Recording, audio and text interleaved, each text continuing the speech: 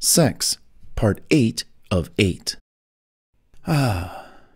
And lastly, to kind of close out this section on sex, here's a great comeback.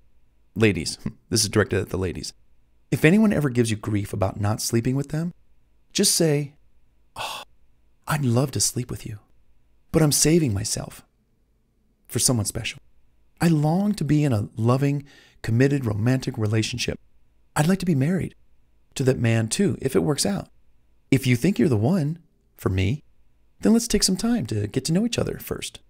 I want more than just sex, and a relationship always comes first with me. How does that sound to you? Oh, you're just looking to hang and chill, and you just got out of a serious relationship and you're not really ready to settle down? Interesting. Well, I'll let you work those things out on your own. Ta ta for now. and watch him run in the opposite direction. I tell you. Sheesh. so, what do you think about some of my thoughts for you regarding the subject of sex? Do they make any sense? What common themes jumped out to you where it concerns sex?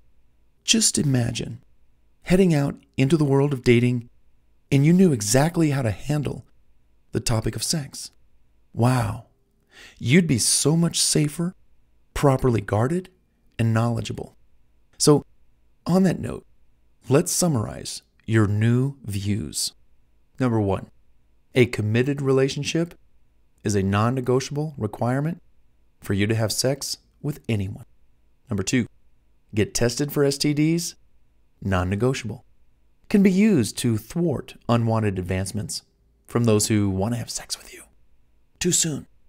Number three, talk things out verbally with your clothes on before you have sex.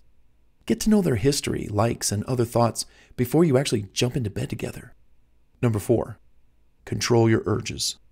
And don't let your horniness cause you to get into trouble or do something you'll regret later.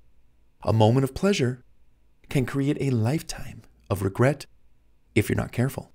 Choose to be careful. Number five, don't sleep around. Minimize your sexual body count. Quantity of times you sleep with one person is far better than quantity of bodies when it comes to your sexual conquests. Number six, guys, her pleasure comes first, always and forever. Details about this and the why and the how can be found in my two books, Laws of the Bedroom and Fantasy Boyfriend. Guys, gals, those books are required reading before you ever have sex, in my opinion, and from my personal experience. And number seven, sex is like fire.